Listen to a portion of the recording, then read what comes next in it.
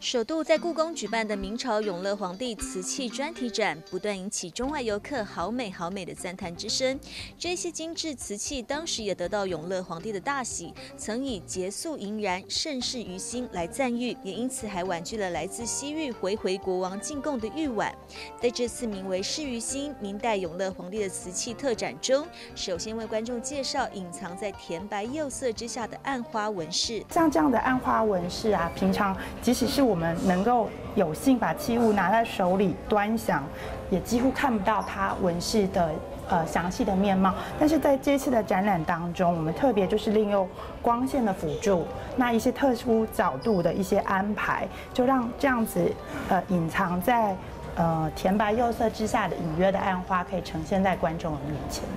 展览分三单元展出，在第一单元内府烧造，可以看到在景德和龙泉镇所烧造的瓷器，开创白瓷新面貌的甜白，造型丰富多变的青花，以及素雅清亮的翠青釉。虽然样貌风格各自不同，却同样受到官方定夺，因而有共通之处。他们的器型还有纹饰是有共通之处的，他们器型非常的类似，他们的纹饰呢，在他们的气。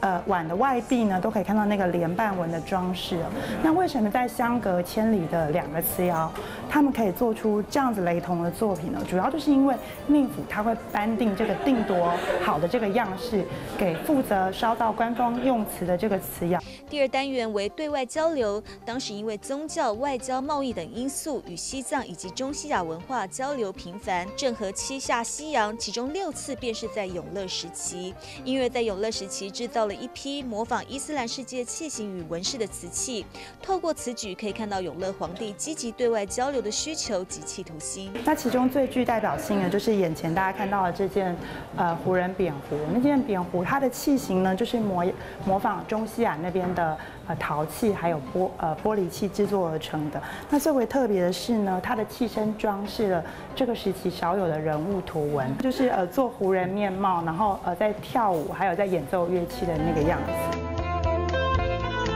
另外，的第三单元“承袭与模仿”则呈现在清康熙、雍正、乾隆时期对明代瓷器的仿作。经过六百年岁月的洗礼，永乐瓷器无论是洁白细致、秀雅端庄，又或者艳丽浓重，都在在呈现出当时制瓷技术的高超，因而是瓷艺爱好者绝对值得前往朝圣的珍贵展出。记者张明叶志雄、何乃强谈报道。